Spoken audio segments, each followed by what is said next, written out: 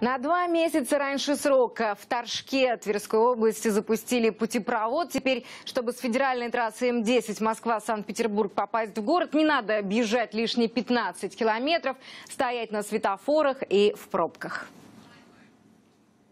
Готовы? Да. Раз, два, три.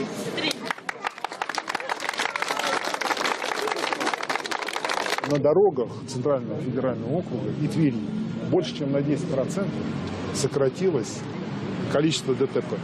Это достижение. В результате того вы это видите, что федеральные трассы сейчас на нашей территории приведены в нормативное состояние. Ну, приятно же сейчас ездить, согласитесь.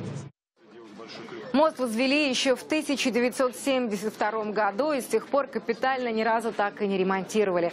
Перед реконструкцией по нему уже не пускали большегрузы, потому что опасно, да и просто ходить было страшно, аж падали фонарные столбы. Так что Октябрьский путепровод строили практически с нуля. Ушло на это два года и 780 миллионов рублей. На асфальт подрядчик дает гарантию 8 лет.